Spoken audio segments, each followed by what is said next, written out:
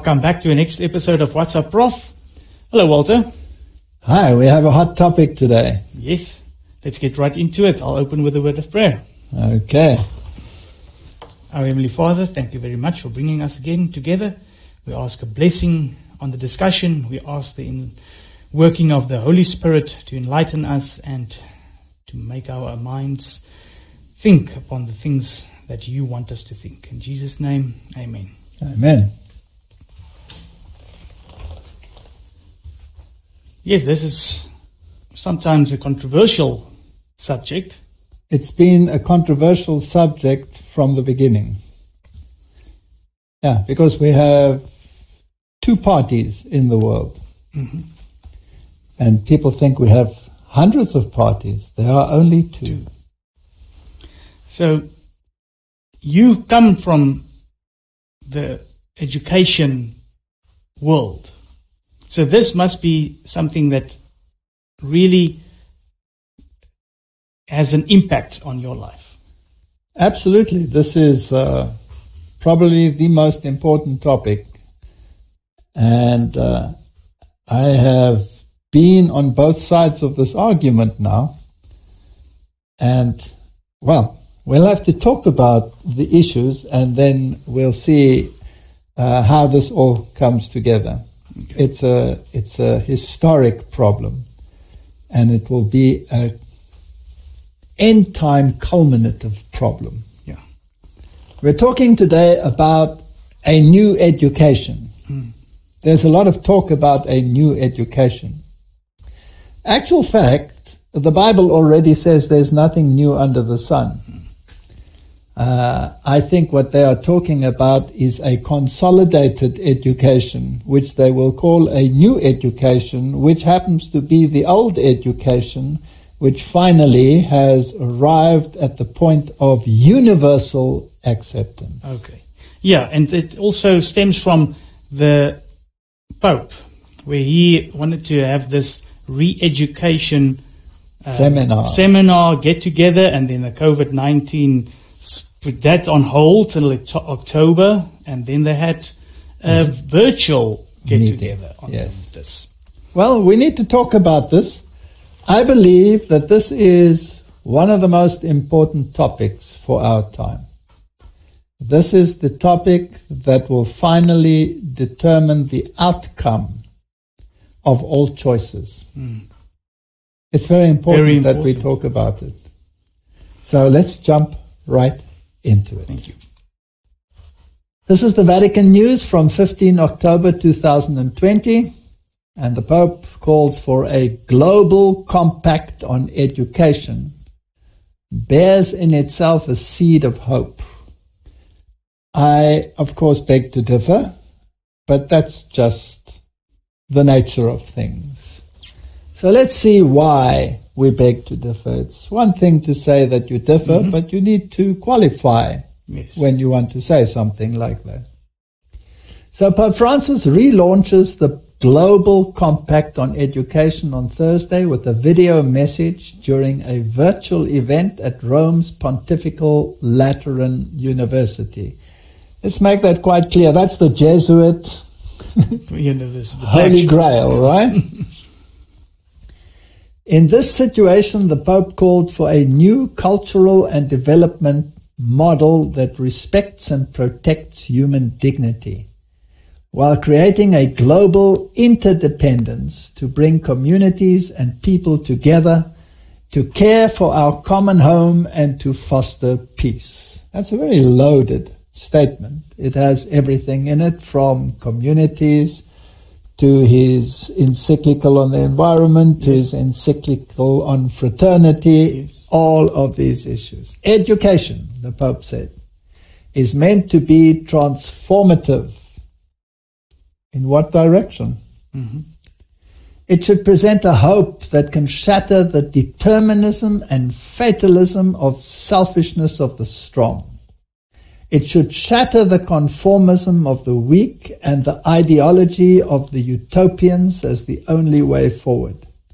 The Pope fo- pointed out that education is a natural antidote to the individualistic culture that at times degenerates into a true cult of the self and the primacy of indifference. He has a thing about individualism because the Catholic Church throughout history wanted conformity to its will. And any individualist who was a free thinker was an enemy of the church. And to this day, they haven't changed their stance. Not at all. This, of course, would get rid of all free thinkers. There would be no Hus. There would be no Martin Luther. There would be no John Knox. There hmm. would be no Latimer. There would be no Cranmer. None of them would exist. There would be no Wesley. There would be nobody who thinks differently to the rest of society. The commitment of every level of society is said is needed for a renewed kind of education that is not tempted to look the other way and thus favor grave social injustices, violations of rights, terrible forms of poverty, and the waste of human lives. This is interesting. This is the richest organization in the history of humanity hmm. But it doesn't seem to bother itself with these issues. And yes, they have a lot of social work that they do, but not out of their coffers. It has to come from donations from outside. Yeah. Let's listen to what he had to say. This is his speech concerning this issue. Noi riteniamo che l'educazione è una delle vie più efficaci per umanizzare il mondo e la storia. L'educazione è soprattutto una questione di amore e di responsabilità che si trasmette nel tempo di generazione in generazione. L'educazione quindi si propone come il naturale antidoto alla cultura individualistica che a volte degenera in vero e proprio culto del io e nel privato dell'indifferenza. Il nostro futuro non può essere la divisione, l'impoverimento delle facoltà di pensiero e di immaginazione, di ascolto, di dialogo e di muta comprensione. Il nostro futuro non può essere questo. Oggi c'è bisogno di una rinnovata stagione di impegno educativo che coinvolga tutte le componenti della società. Well, he's made it quite clear that individualism is his enemy Yes. on every level, whether it be cultural or otherwise. Mhm. Every level, individualism is the enemy of the church and the enemy of the community. And so we have to be uniform. I mean, if you take uh, the Jesuit reductions in South America, where they used the Indian labor and organized them into reductions, which became the model for communism, then you have this kind of fruit Yes. of that kind of thinking. Everybody is the same and uh, nothing but total misery because it curtails your freedom. Now, let's just look at this history and see where all of this came from and why there is this clash of thinking. Here's an interesting article that appeared uh, in the University of Arizona documents. And this document is about Martin Luther, who was an advocate for education reform. So Martin Luther asked for a new education. Yeah. Interesting, right? It is interesting, yes. So what was wrong with the old education? And let's just make it quite clear. Who ran the old education? Correct. The Roman, the Roman Catholic, Catholic, Church, right? yes. So Martin Luther advocated for a new education. Now this article was written in 2017 and it says in his quest to help Christians read and understand scripture for themselves, Luther favored compulsory education for all. His views on education will be discussed as part of the April 11 early book lecture series at the University of Arizona. In the article it says, during a time when school often was limited to the sons of the wealthy, Luther argued for compulsory education for all. His main reason education was necessary so that Christians could read and understand scripture for themselves. That was the sola scriptura basis, right? That's the whole reason that What- he wanted compulsory education for all. And he wanted literacy for all. So that people could understand their Bibles. Correct. Luther was determined to wrestle control of the schools from the Roman Catholic Church. So he had a problem with them, right? Mm-hmm. One of the reasons Luther is approaching the city fathers is he wants the primary responsibility for education to be grasped by those men and taken away from the ecclesiastics in the town. Now, all the schools in those days were run by the church, and historically, the universities of the world were all church Yes. institutions. And this is the document that he wrote to the rulers. This is an original, which this university, by the way, bought a copy of. And uh, it states quite clearly what his views on education was. It's a very famous document. This is one of the, the sentences that Martin Luther wrote to the rulers of the time. My dear sirs, if we have to spend such large sums every year on guns, roads, bridges, dams, and countless similar items to ensure the temporal peace and prosperity of a city, why should not much more be devoted to the poor neglected youth? A city's best and greatest welfare, safety, and strength consists rather in its having many able, learned, wise, honorable, and well educated citizens. Luther also espoused a classical education. So, well, why did he want all of this as well? So that people had a broad view and they could understand the mm-hmm. issues. First introduced during the Renaissance, and that included history, languages such as Greek, Hebrew, and Latin, believing such a broad education would aid in the study of the Bible. Now, in our own denomination, we have certain guidelines as well, which, had they been followed to the letter, would have blessed beyond our wildest dreams. And uh, it has been suggested that what was taught in the schools of the prophets should also be the basis for education. Yes. And there was sacred history. So history is very important. There was sacred music. There was prophecy. There was the study of the Bible. And then there were practical issues such as gardening, how to do farming, sustaining uh, education in terms of practical issues. That was the education that was supposed to be there. But unfortunately, that is not what has happened. Now, here's a, another publication that I found very interesting. This comes from Teach Diligently Resources for Christian Education. It also gives the views of Martin Luther on education reformation. So, a new education. Mm-hmm. Reforming the universities, Luther wrote, the universities need a sound and thorough reformation. Loose living is practiced there. Little is taught of the Holy Scriptures or the Christian faith. The blind pagan teacher Aristotle is of more consequence than Christ. Do we have a similar situation in the world today? Yes, Absolutely. absolutely.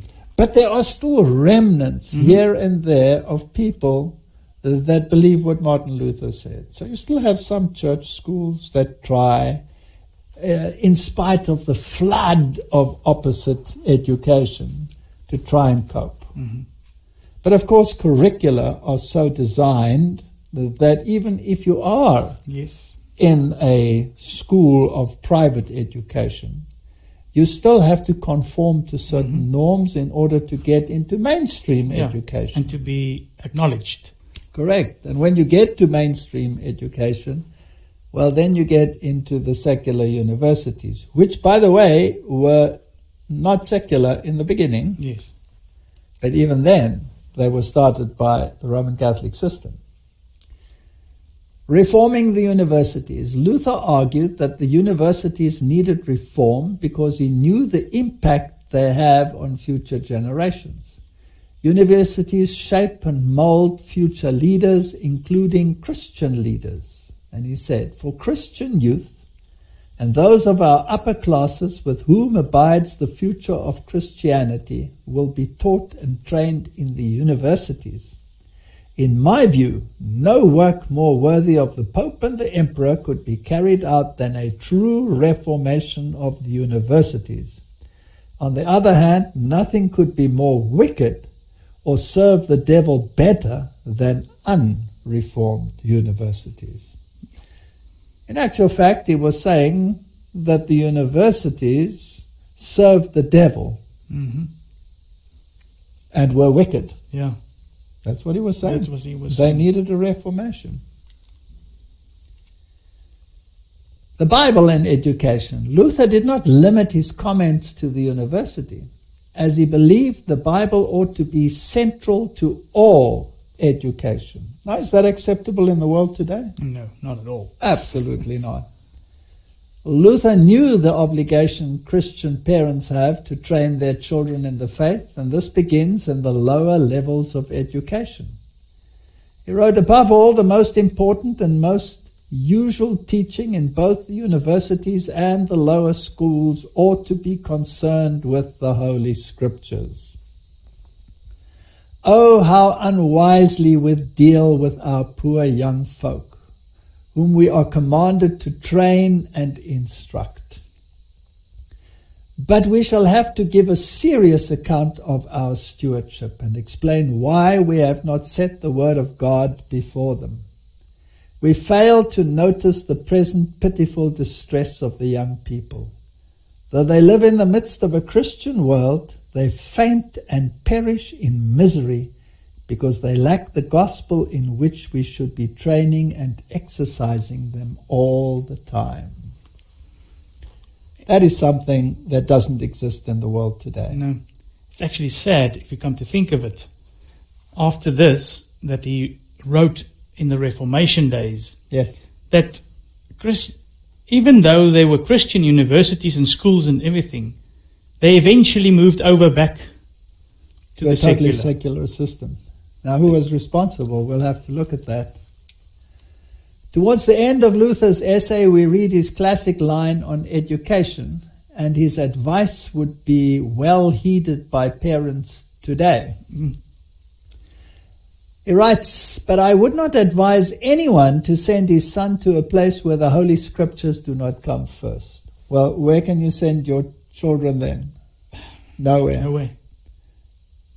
How many parents have sent believing children to secular universities only to get them back hmm as atheists and infidels? Every institution where the Word of God is not taught regularly must fail. That is why we observe the kind of people who are now and will continue to be in the universities. I greatly fear that the universities are but wide open gates leading to hell.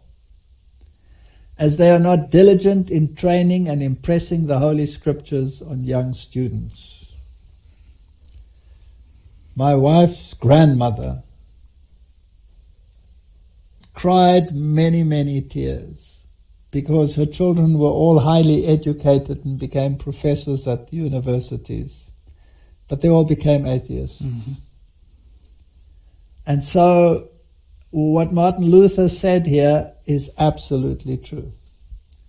Now, I did not become an atheist when I went to the university because I already was one. Yeah. And why was I an atheist? Why was because that? of the education. because of the education I received at school. And the education at school, and particularly the education I received in religious instruction by through the Roman Catholic system, uh, made sure that I was an atheist even by the time I got to the university. Fascinating. And then the author of this article is Zachary Garris. And let me just say who he is. Zachary Garris is an attorney and author. He holds a Master of Divinity from the Reformed Theological Seminary, Jackson, Missouri, and a Juris Doctor from Wayne State University Law School. He is licensed to preach in the Presbyterian Church in America and he has taught high school and Sunday school courses on ancient history, early church history, medieval history, logic, Bible systematic theology, covenant theology, apologetics, and worldview. So he's a well educated man. And his conclusion is we are witnessing exactly what Luther warned against failed institutions. The majority of our schools and universities have failed to train students in the wisdom of Christ, and they have instead trained students in a progressive and anti-Christian worldview. It is no stretch to say that our schools and universities are responsible for much of the moral chaos of our day. They have opened the gates to hell, and only the grace of God can overcome them. This is a very modern document. Yeah. And the conclusion is the same as was reached by Martin Luther 500 years ago. Now, I've come through this training and education. It's interesting that Martin Luther was for educating all classes, Mm. even girls. And that was a no-no in those days. And he himself had, I think it was three daughters. One died at birth. One died when she was 13 years old. But uh, he advocated for schools and he started a school in Wittenberg where the girls could attend so that they could be educated and could understand and read and understand these things. This was the kind of education that Protestantism brought to the world. Yes. And the last vestiges of this education must now be destroyed. Here's another fascinating article. It comes from Steemit, The War Against Books. To set up learning against learning is a Jesuit strategy. The phrase learning against learning comes from Cardinal Thomas Wolsey, addressing the Pope about the dangers of the printing press to the church's control. How can you say that the printing press is a danger to the church? In other words, knowledge, true knowledge, is a danger to the church. The goal of the Catholic Church became to start a war against books. As D. Israeli put it in the last chapter, War Against Books, in his book, Amenities of Literature from 1841. This is also referring to the Gutenberg press that was developed right in the Reformation days Absolutely. It was the enemy of the of the papacy. Yeah. Why? Because it put the Word of God into people's hands and the literature that went along with it. The writings of Martin Luther, Yes. for example. It is traced to Ignatius Loyola's rules for Jesuits. That was the founder of the Jesuit order, right? Mhm. But uh, there were three founders, actually. It was Ignatius Loyola, Mhm. he was the founder. Then there was Peter Faber, who was the German co-founder of the Jesuits, and he is the one who actually brought the philosophy of learning uh, to this illustrious group. And then there was Francis Xavier. Yeah. Now, he was the one that lived the shortest, and Faber was really the one that drove the philosophy. But uh, Ignatius Loyola, he's the one who had the visions and Yeah. created the, the exercises, exercises. of Loyola. So the grand rule of the order is to make thinking conform with the Catholic Church. Elaborated in 18 specific rules, of which rule number 13 says, the 13th and finally, that we may be altogether of the same mind and in conformity with the church herself. No individualistic thinking. Interesting.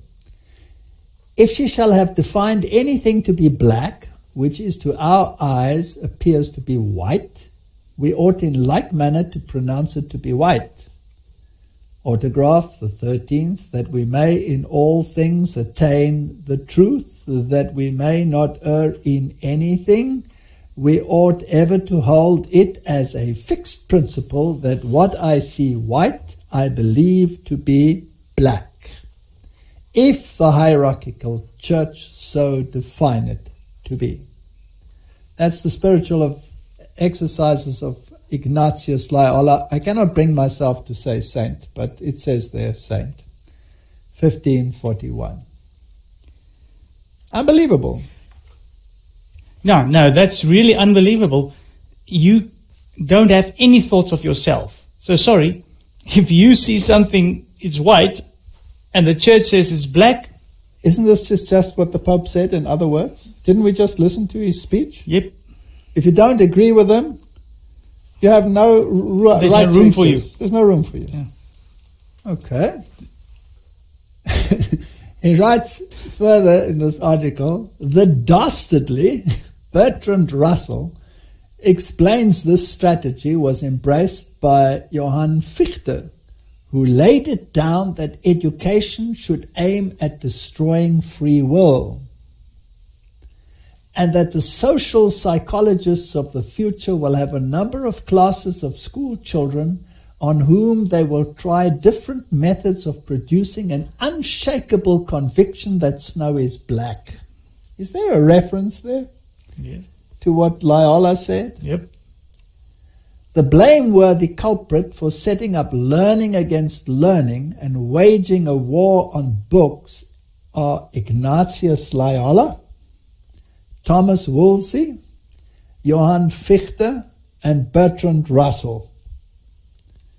Isaac D'Israeli deserves credit for fighting against the Jesuits. And here are the sources for the document.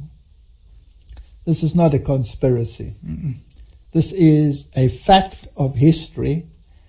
And so many people argue and fight against it because they are part of the very institutions which practice Loyola's instructions on the minds of young people in our universities. Now, is it true that our universities do this? Now, I have some experience in this.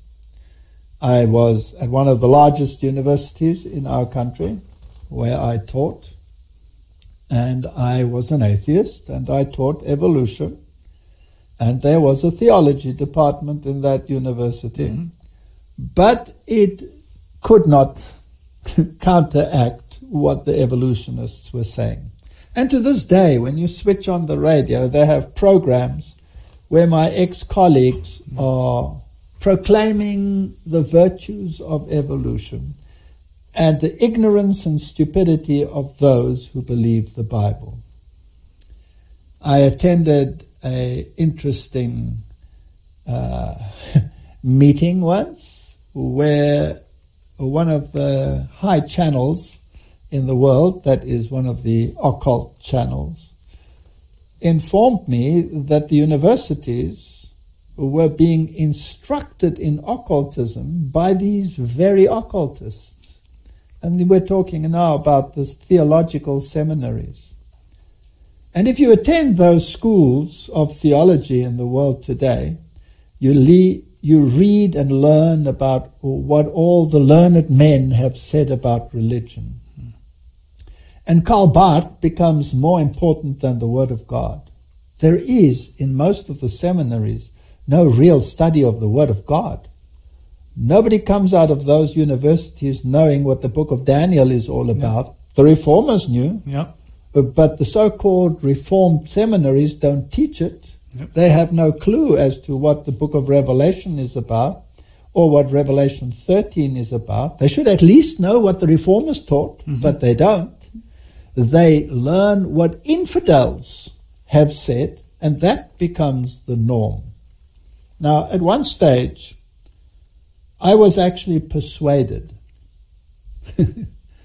that I should get a degree in theology because it seems to be a mindset of the people that if you do not have a degree in theology, then you better refrain from any theological issue. Yes. Have you come across that? yes. yes, and uh, I was often confronted with this kind of thinking. It sounds a little bit to me, and when I was confronted with it, it uh, I heard almost the Pharisees shouting there. Yes, who is know, this man who has this- not known letters? so they condemned the disciples, they condemned John, they condemned Jesus himself, right? So I at one stage decided I'm going to thwart these these intellectuals at the colleges and universities and get a degree in theology. And uh, I went to the university where I was teaching at the time, and I went to the theological seminary, which was Protestant, hmm and said, I want to enroll for a degree in theology. What must I do? Well, I was professor at that stage, and I had, you know, PhD in uh, in science. And so the man said to me, "Well, well, that's very fascinating. You know, you have so many degrees already. What we need to do is to give you a bridging course." You'll write an exam and then you'll go straight into a master's and then later into a doctoral thesis. And I said, well, that's wonderful. Let's do that. And he said, well, you can start the thesis immediately if you want to. Have you any topic in mind? Well, I thought to myself, you know, how am I going to do this quickly? so I said, well, can't I do a thesis on Genesis versus modern scientific thinking? He nearly had a heart failure and said, no, no, no, that won't do because we will not align ourselves with anything that is contrary to the evolutionary paradigm. So I said, well, so a thesis where you constructively compare uh, the scriptural story with the scientific uh, knowledge of the day, and even if it should support some of the scriptural issues, would not be satisfactory. And he said, absolutely not. We will not make fools of ourselves. Uh, So I said, okay, that's fine. So we'll leave that topic. Now, at that stage, I was very interested in uh, the New Age movement and all of the philosophies of these self proclaimed messiahs and also uh, the s- appearances of these messiahs, which were all contrary to Scripture. So I suggested a thesis on the biblical criteria for the biblical Messiah versus the Messiahs in the world out there, which is a very broad field. And he looked at me with this glassy look. And he said to me, uh, which biblical Messiah are you referring to? okay. Now this is a Protestant Yeah. theologian speaking, right? And I looked at him and I asked him, um, is there more than one? and he said, oh yes. The Bible is all allegories. Everybody is a Messiah or a potential Messiah. So I said to him, very well, I will think about it. And I left it at that, realizing that argument was absolutely not achieving anything.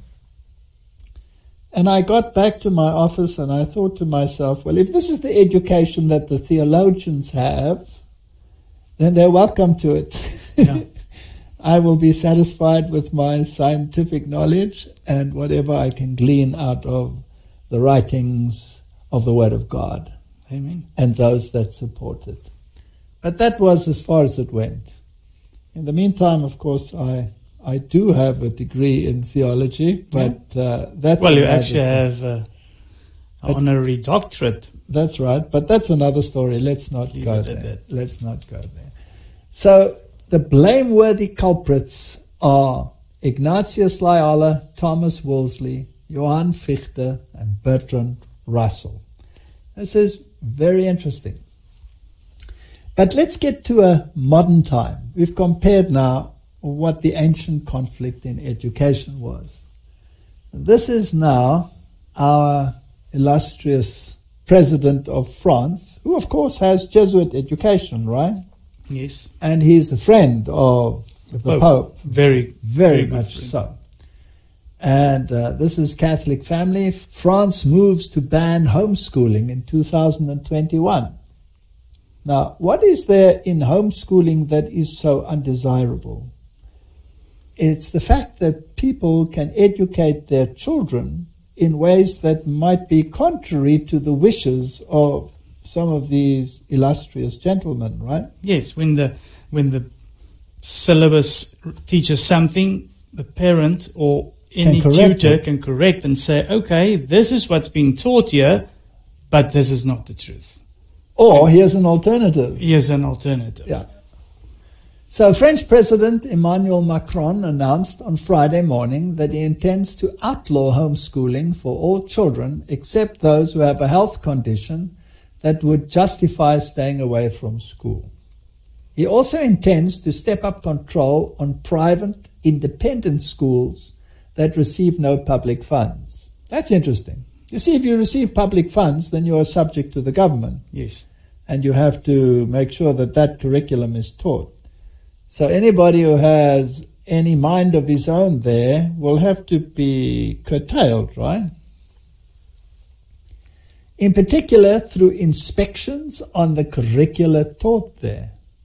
By more severely implementing a recent law that requires such schools to teach a common core defined by a high authority for education.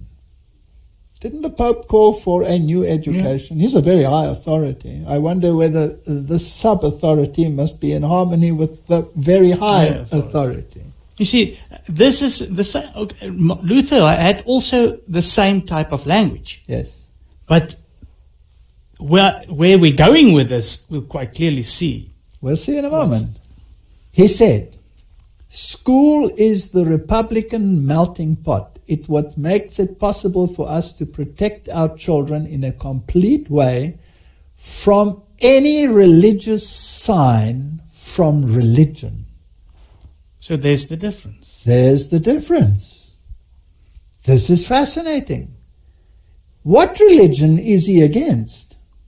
Well, it seems like all religion. Aha. But why not throw them all into the pot when you actually are against one particular Exactly. one, right? Yeah. It is truly the heart of the space of secularism. And it is this place where we form consciences so that children become free, rational citizens able to choose their own lives. The school is therefore our collective treasure. It is what allows us in our society to build this common thing that is the republic. That's exactly what Martin Luther warned against mm-hmm. Where the scriptures are sidelined, this will be the result. And here they will form the minds so that snow is black. Yeah. This is a speech he made after the um, radical Islamic attacks that were in France. But like we've read now and we'll still read, this pertains to all religion because France is a secular country. Secular state. Macron said very clearly that the school of the Republic aims to protect children from religion. He added, that is no doubt one of the most radical since the laws of 1882 and those ensuring school co-education between boys and girls in 1969. From the start of the 2021 school year, school instruction will be made compulsory for all from the age of three. That takes away the influence of the parents mm-hmm. completely. Completely. Homeschooling will be strictly limited, particularly to health reasons. We are therefore changing our paradigm and it is vital. In the same vein, he said, the Republic was built around the school, which trains more than individuals. It raises citizens. It shapes free minds. That is why I'm convinced that the Republic will resist through schools those who want to fight or divide it. And it is through schools that we will allow all our children to access knowledge, culture, and republican civic mindedness, and thus to fully become men and women citizens. In other words, your mind must be conformed to the way the government wants it to be formed, which in turn is decided by a higher authority that sits in Rome. Yes.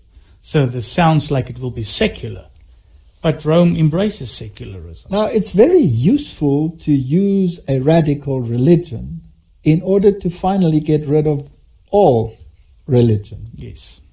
and to take away the right of the parent to instill norms and values into the minds of their children.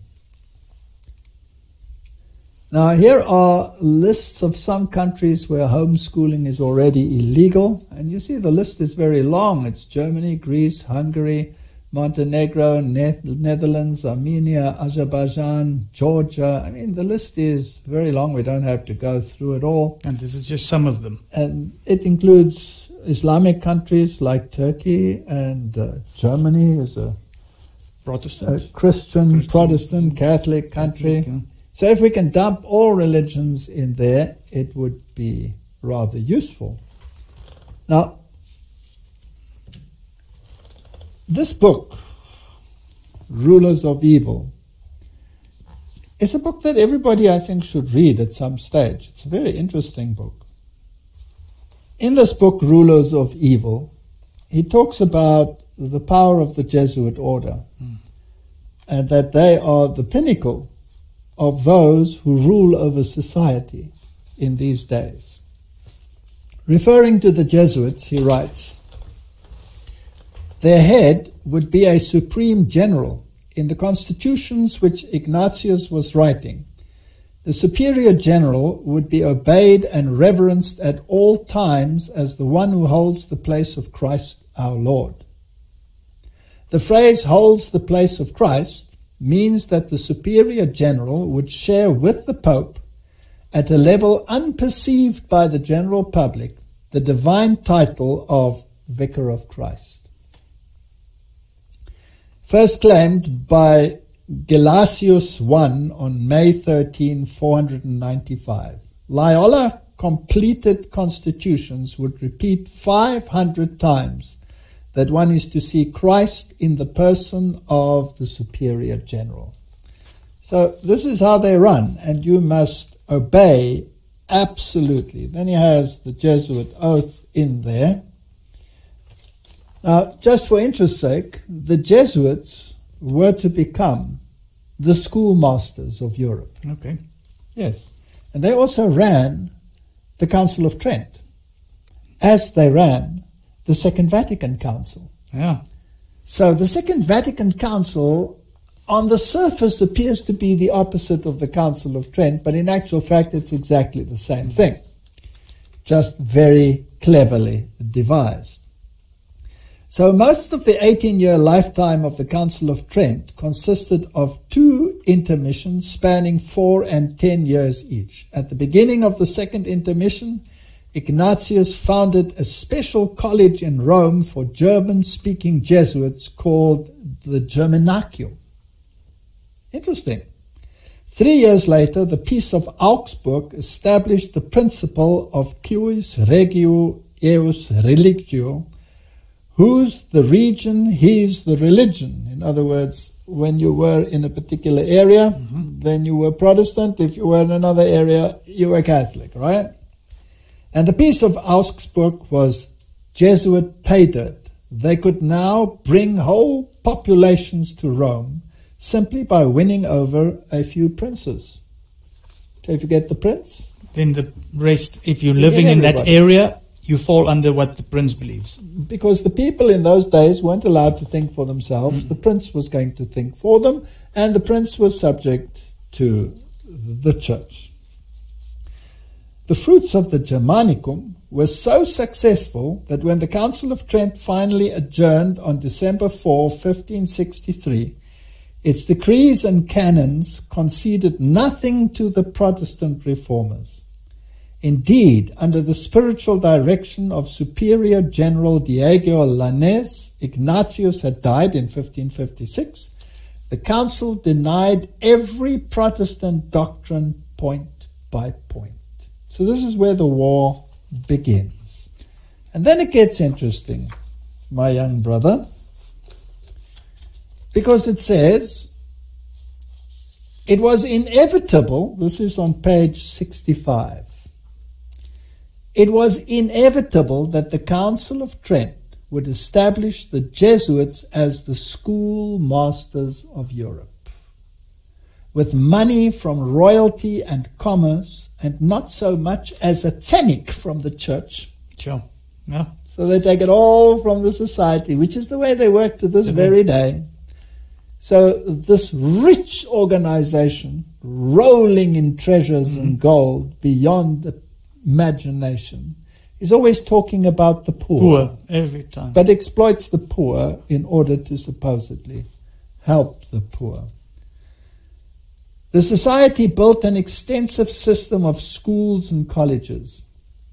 No tuition was charged, but each prospective student was thoroughly examined to see if he had aptitude the society could use.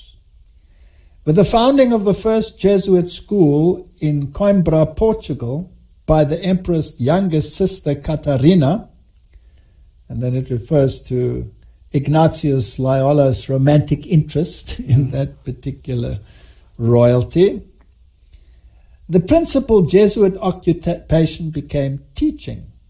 By 1556, three fourths of the society's membership were dedicated in 46 Jesuit colleges to learning against learning to indoctrinating minds with the learning of illuminated humanism as opposed to the learning of Scripture. Now, this is why Martin Luther hmm made his speeches Yes. and why he said that the universities and the schools were cesspools. Yeah, and they had to re- a reformation of the education system. This network would expand by 1749 to 669 colleges, 176 seminaries, 61 houses of study, and 24 universities, partly or wholly under Jesuit direction. Mm-hmm. That's how they ran. And then the sad sentence many Protestant families sent their sons to Jesuit schools. Despite Martin Luther's early warning in an appeal to the ruling class, which we just read mm-hmm. about, that unless they diligently train and impress scripture upon their young students, schools will prove to be widening gates of hell. Now, the Jesuit curriculum, or ratio studiorum, method of study, mm. gave scripture significant inattention. Yeah. So the scripture wasn't mentioned at all. In fact, where I taught, when scripture was even mentioned, it was only to ridicule it. And that is what happened to our universities. And I was at a Protestant university, not a Catholic university. So I wonder our educated people that have trained at Jesuit institutes, hmm our learned gentlemen that study at these cesspools of rationalism and social equality, how their minds can even grasp the veracity of Scripture. They have been so poisoned Yeah. by what they have learned that it disqualifies them from being in the pulpit in many cases. Unless, of course, they have a total transformation. Yes. And then he has something very interesting to say. The curriculum of the Jesuit colleges came to be adopted to a great extent as the basis of the curricula in European colleges generally. Wrote Dr. James J. Walsh, Dean of Fordham University Medical School. Moreover, according to Dr. Walsh, quote, this is on page 66, the founding fathers of our American Republic, that is to say, the groups of men who drew up and signed the Declaration of Independence, who were the leaders in the American Revolution and who formulated the Constitution of the United States, were the majority of them educated in the colonial colleges or in corresponding colleges abroad, which followed almost exactly the Jesuit ratio studiorum. Yeah. The fact has been missed to a great extent in our histories of American education. Embedded in the ratio studiorum, he continues here, were the elements of entertainment, mm-hmm. of dramatic productions, composition, rhetoric, and eloquence. I can add debate to that. Mm. These courses interlinked with the spiritual exercises to intensify the experientiality of Catholic doctrine over scripture and Protestantism. So that means the spiritual exercises of Loyola was implemented in those different areas to Without people even knowing. Yeah. They, they resulted in a genre of spectacular plays that mm. won distinction as Jesuit theatre. theatre. Now, it carries on here and it gets very interesting. The first Jesuit theatre was performed in Vienna in 1555. Can you see? This is in the time of the Reformation. Yes. This, This is, is- a counter reformation. Yes, this is the Counter Reformation. Nearly 45 years before the emergence of Shakespeare. It was instantly popular and quickly spread to other parts of Europe. Between 1597 and 1773, more than 500 Jesuit theatricals hmm. were staged in the lower Rhine region alone. Fascinating. Yes. Jacob Bidermann's play Cenodoxus, a point by point rebuttal of Luther's teachings, proved the power of entertainment to achieve political reform. Political reform through Jesuit theatre. Now, Jesuit theatre, of course, exists today and is alive and well and calls itself Hollywood, which, of course, is the witch's staff. Holly is the wood that it is made of, and it is used by witches to cast spells.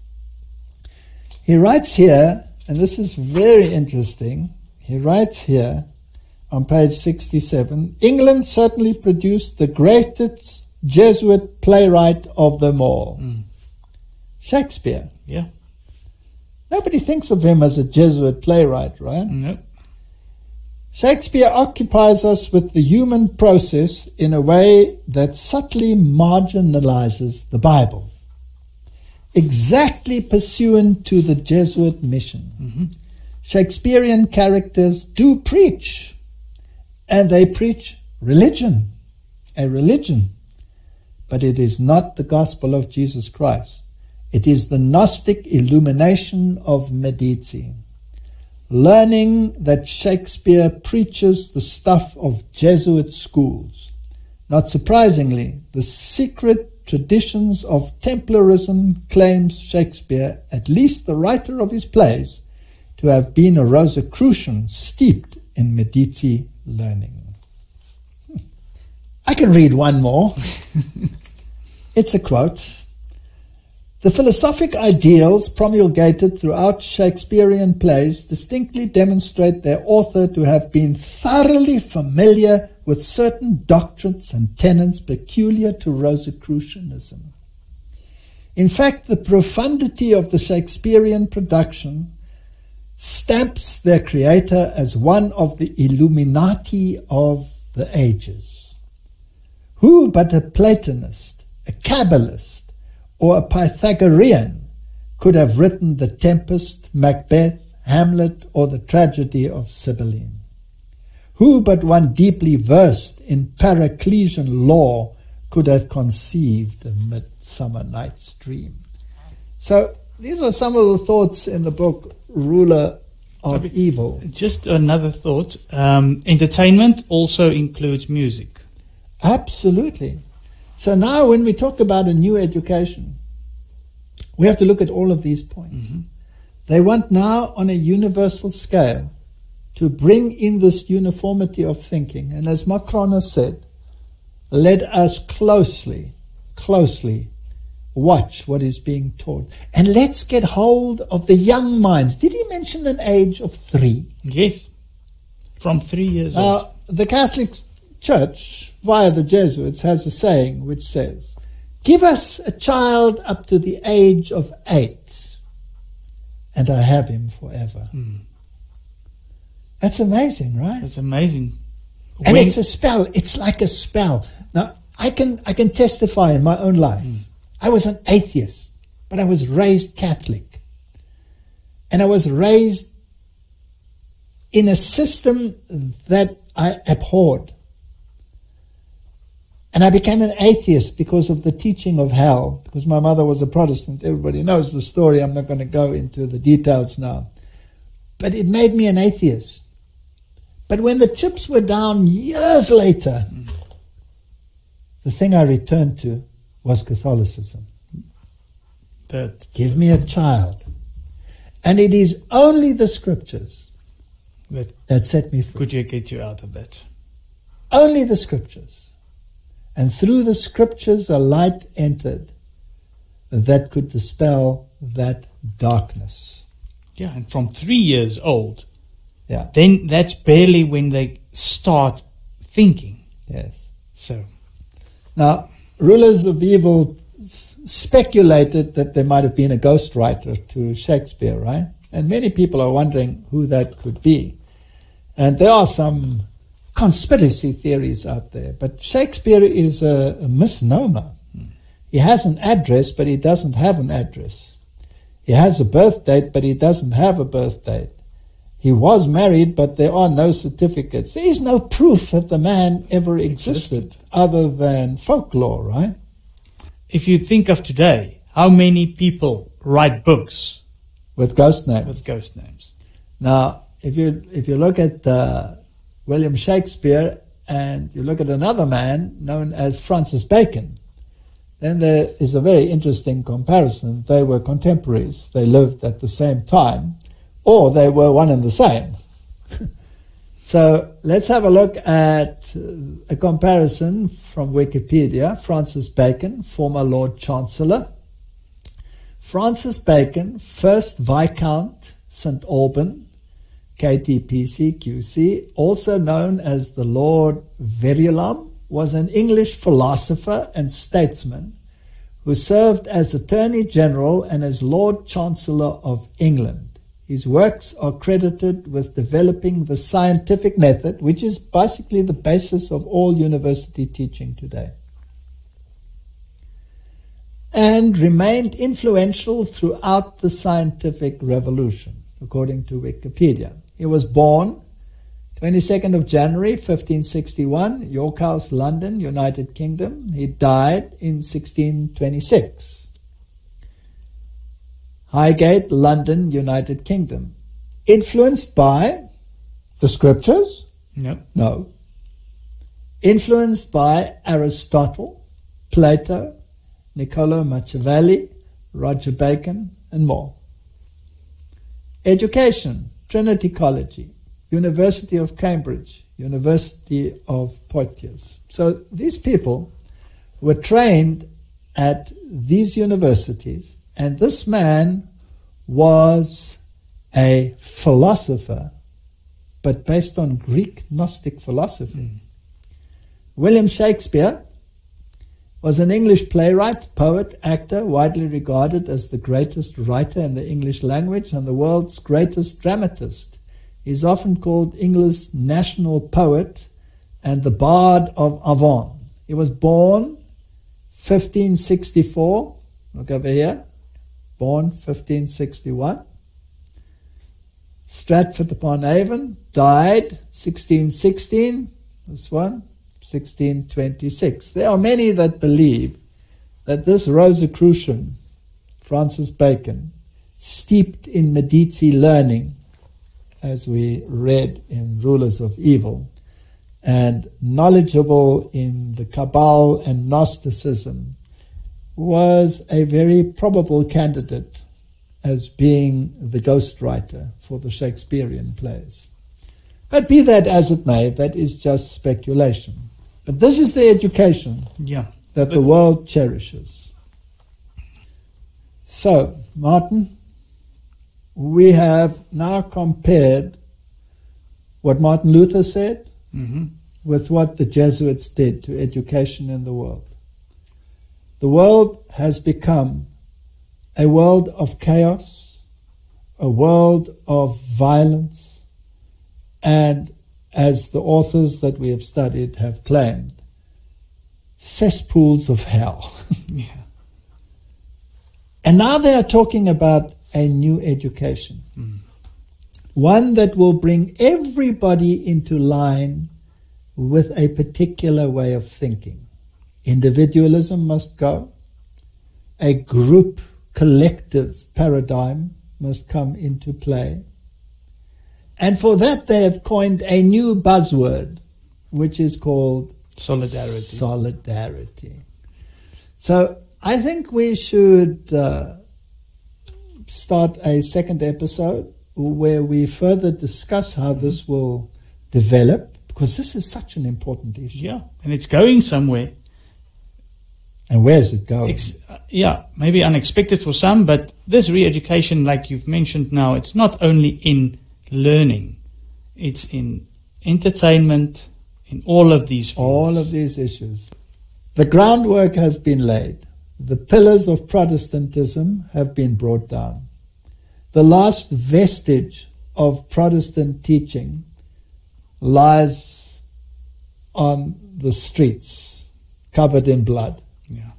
And now it is time to bring in a new education that sweeps away all religion, as we have seen, and brings in that illuminated Gnostic teaching that is at the heart of Jesuit teaching. Yes. We have a Jesuit Pope.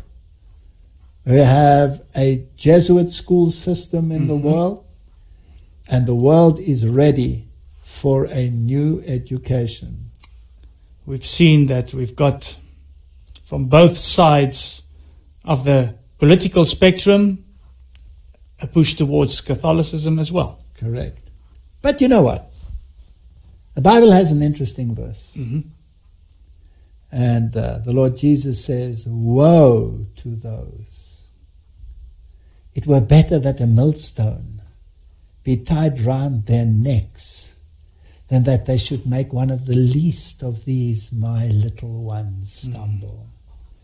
This is a confrontation with the God of the universe Yes. that will culminate in the final events on this planet and for humanity.